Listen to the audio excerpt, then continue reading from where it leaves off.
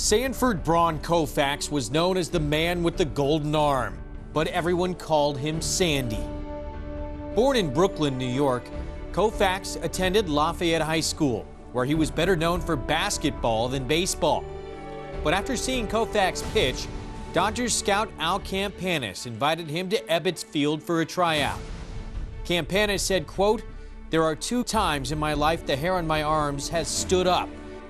The first time I saw the ceiling of the Sistine Chapel, and the first time I saw Sandy Koufax throw a fastball.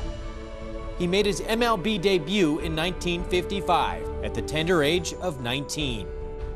In his first six years, Koufax won fewer games than he lost.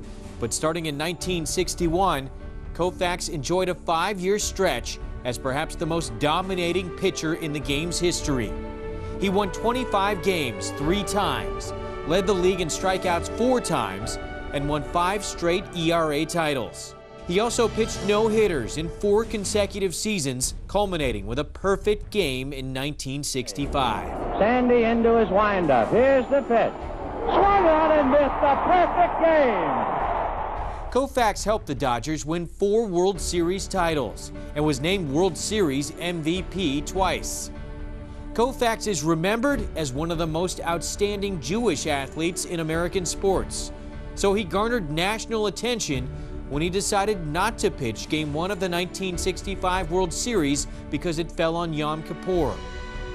Koufax was a seven-time All-Star.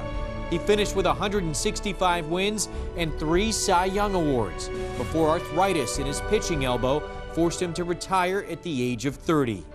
I don't regret one minute of the last 12 years, but I think I would regret one year that was too many.